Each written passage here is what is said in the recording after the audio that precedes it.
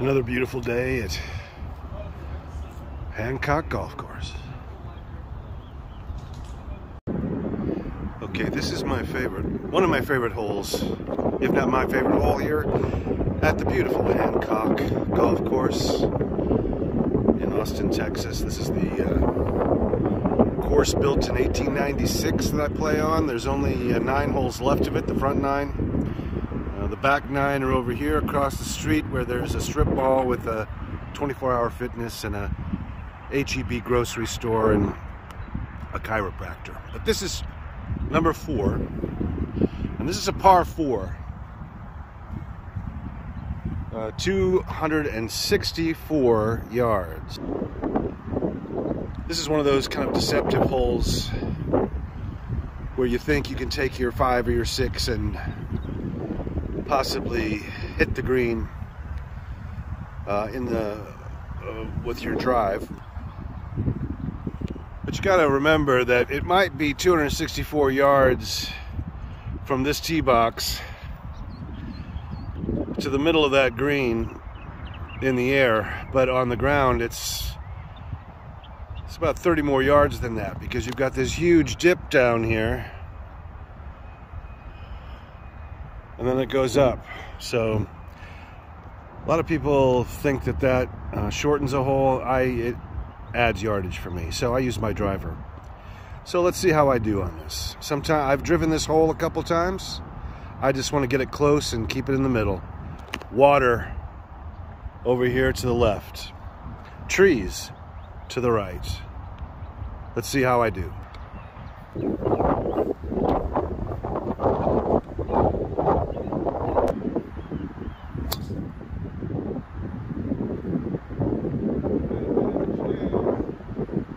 That's a pretty good tee shot. I hit it down the uh, the right side there, where there's a little incline that comes. So if you hit your ball too far to the right, right on the edge of the fairway, it'll usually roll down. So I'm down there. We're good. So I walk down to our ball now. Uh, the other day when I was out here on this hole, the reason why I love it so much is that there's a lot of wildlife that lives around this pond up here to the left. And there's a Cooper's hawk that lives in this woods. And when you're out here in the afternoon during lunchtime or feeding time, it'll be up here circling around this pond. You know, circling up here and there's cardinals and blue jays and squirrels and turtles. You know, it's part of the reason why I love golf so much is because it's an opportunity and an excuse, I guess you could say, for some to spend the day in a park in nature, smelling the grass and feeling the breeze. Today in Austin, it's one of those beautiful spring days where it's maybe 73 degrees, you know, sun drifting between some you know cottony clouds a little breeze blowing. So yeah. We had a bit of a headwind. The wind is kind of turning around on this hole. So we're coming up on my ball. There was the tee way back there almost there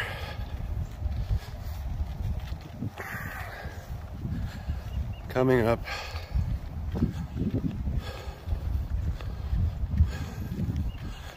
on my shot. So, that was about 220, 210. And there is our next target. Okay. This is where we use the old Gary Player. Hello. What's this?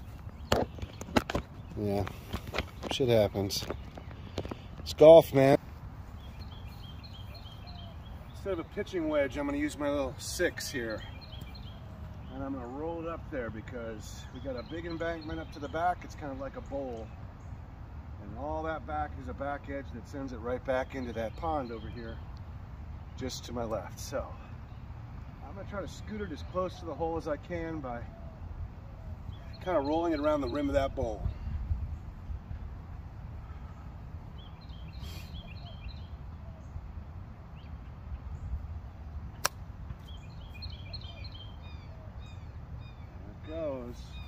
Sit, sit.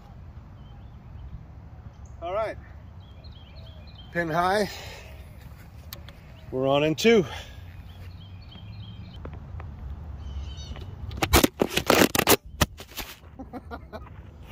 yeah. Not the easiest.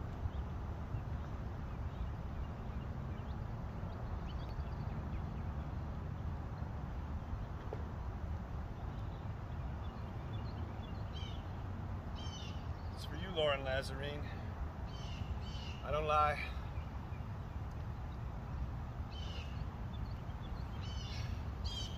That's a birdie, baby. Okay, we're here at my third shot on the uh, par five, sixth hole. Tee's down there over on the other side of the sidewalk. I think they say it's 384 or something like that.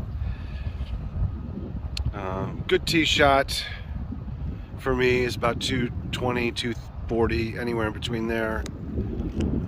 Which puts me kind of like right around here. Depending on where the tee box is, it's usually back, so that's where I usually end up. And then the second shot is usually an easy eight up in the air, roll, roll, roll, roll, roll, roll, roll, roll, roll. And now I would say I'm about 100 and almost 200 yards out. Now, 154 probably, I'm going to guess. And so I'm going to use my five iron to give me the distance. And as it starts to come down, it should be hitting the green. Let's see how it goes. I've got a guy in front of me. I'm letting him play.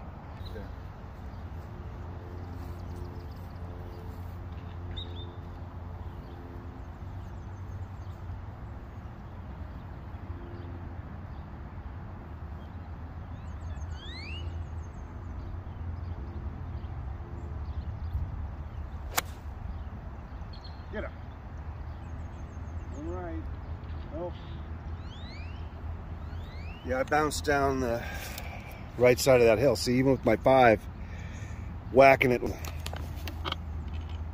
So yeah, it's about 300 and something down to this turn. We turn down to the left. The uh, fairway starts to incline down towards the creek so that if you hit the ball too hard to try to get up on this plateau, which I'm still on, if you miss, the grass is a little shorter on this hill and it'll roll down into the creek. What I love about this creek is uh, has a family of turtles that live down here. Still might be a little too early to see a turtle, but there's usually a turtle down here. Jump in the water when you come across the bridge. I think there's one down there. But yeah, this is a beautiful little part of the course So we cross the bridge over the creek to the green on number six. So, it's just my phone. I'm just recording some of my swings so I can watch them later. Okay, there it is right there. Toward me. Number three, you and me. Coming to your left.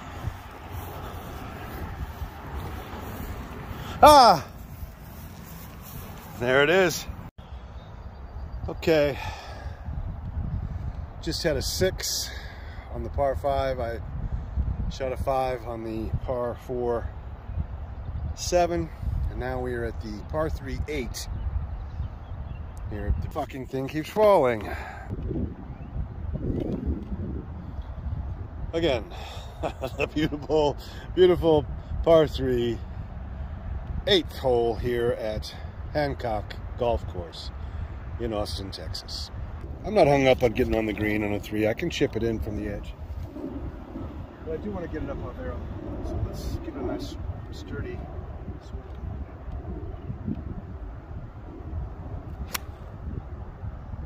That's it. That window hold it up. Bang.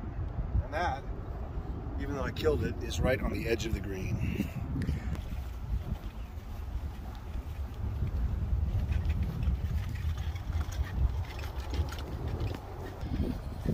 On the par three, 144 supposedly, I hit a stiff.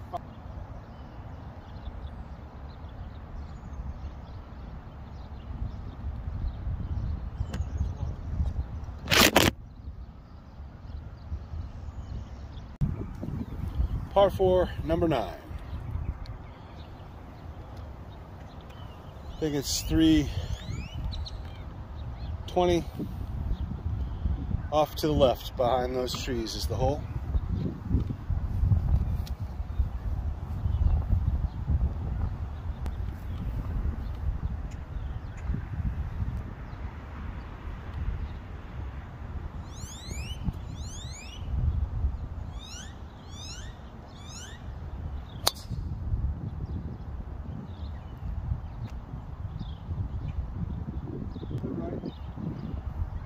right, side of the.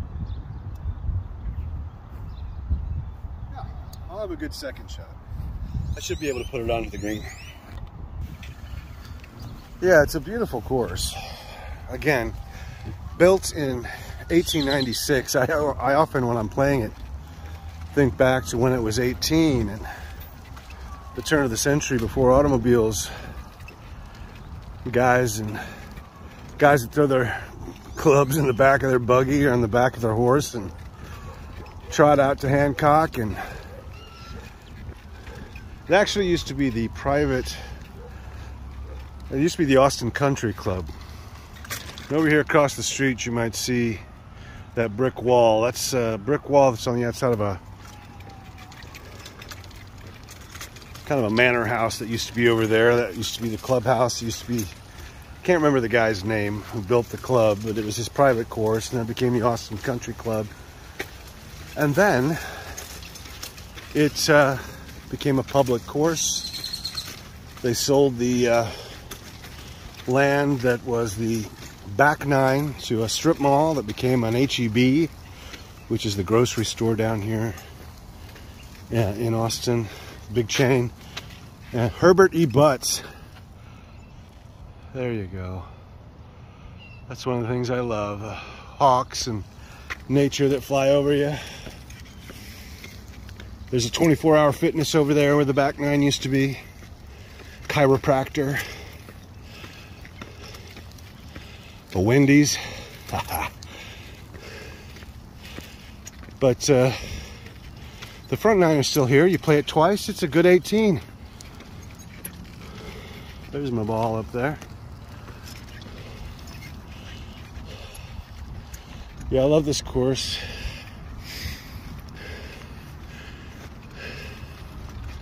Whew, that's aerobic, man. It's a big hill. Whoever says golf is not a sport, never played it. Scooch it up there onto that green.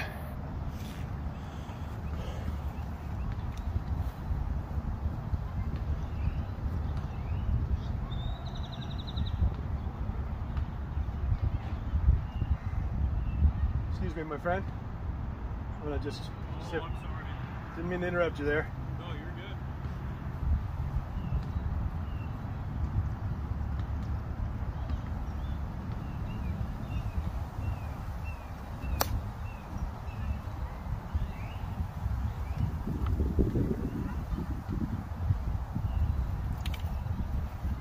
There we go.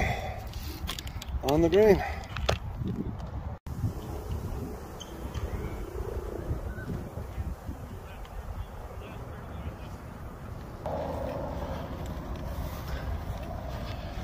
Okay.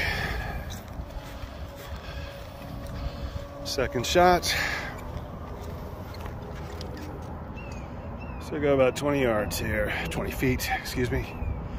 See what we can do.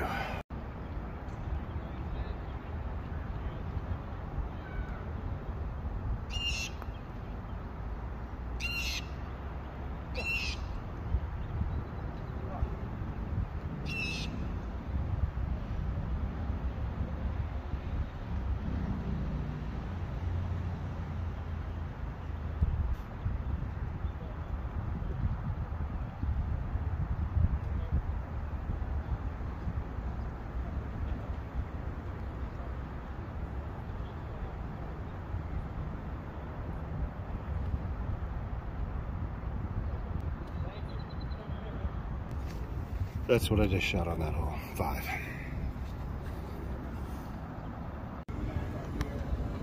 Shot an 80 today. Not too bad.